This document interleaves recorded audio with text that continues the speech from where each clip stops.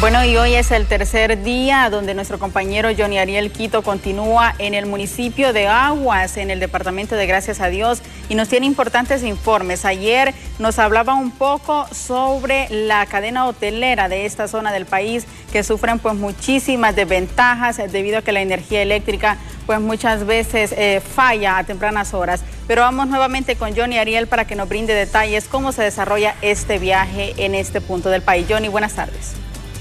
Así es, que compañeros de Impacto BTV, el poder de la noticia, me encuentro en el municipio de Ajuaz, aquí en el departamento de Gracias a Dios, donde se está llevando a cabo una reunión y me encuentro con Elmina Eulopio, ¿verdad? No es así, ella es alcaldesa de aquí del municipio de Ajuaz. Eh, ¿Cómo se está llevando a cabo esta reunión y cómo están los convenios? Mire, eh, nosotros tenemos un convenio que tenemos firmado a la alcaldía con Bamiasta sobre la producción de alimentos en nuestro municipio.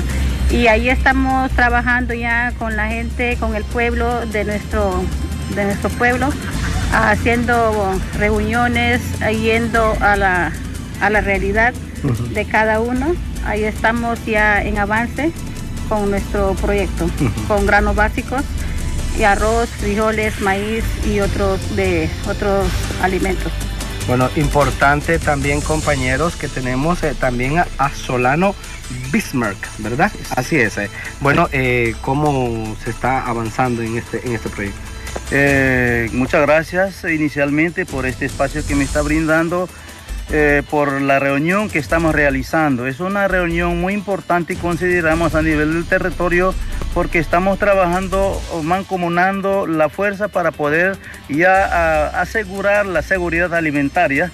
A nivel del territorio nosotros organizamos con los bases sociales del Consejo Territorial para poder asegurar ya seguridad alimentaria porque años anteriores venimos haciendo estudios a nivel central también que hemos ido solicitar el apoyo para poder mejorarle ya a esa seguridad alimentaria, porque situación climatológica viene en el tiempo de invierno, todos los productores se lleva a la baja producción y hemos solicitado a nivel central del gobierno también para que podamos eh, usarse con una metodología nueva y cultivar en el ya en el llano y también huertos familiares. Y así de esa manera también hemos hecho un estudio ya identificado y estamos organizando ya con los técnicos que están aquí a nivel del territorio. Y gracias también a Prahuanca había dado técnico ya de parte de Prahuanca y nos había dado un técnico para poder ya estar operando ya como técnico en cuanto al área de producción. Y estamos agradecidos también parte del Estado